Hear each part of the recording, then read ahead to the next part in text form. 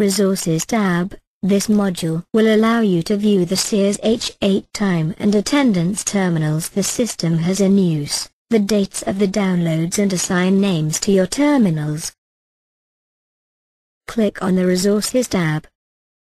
This window will display the name and number of each terminal. To change the name of a terminal, click on its name to edit and then click on Edit Recorders. Key in the new name of the terminal and press OK. Note, a time and attendance terminal is the same thing as a time recorder. For this case we use the term recorder.